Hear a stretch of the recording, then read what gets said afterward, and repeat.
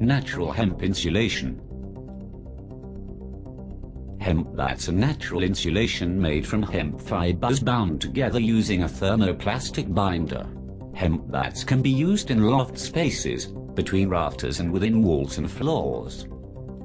They have very good loft and an elastic form, holding their size and shape in all specified applications and easy to fit and hold between rafters and in walls, without additional fixings. Hemp batts have good thermal and acoustic insulation properties and also good thermal mass. They are vapor open and hygroscopic, making them excellent for use in breathing, construction. In common with wood, hemp fibers are based on cellulose. Hemp batts can absorb and release moisture without degrading and without overall loss of thermal resistivity. This gives them a margin of safety against the formation of interstitial condensation.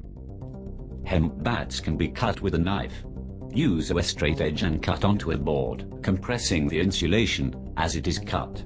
When properly installed hemp batts will retain their loft and thermal performance for the life of the building. Hemp fibers are non-toxic and can be installed without gloves or protective clothing. Hemp batts are not irritating to the skin, eyes or respiratory system and are made from hemp fibers, polyolefine fibers and ammonium phosphate. For every 1 kilogram of hemp insulation used instead of mineral wool, 1.4 kilograms of CO2 is saved.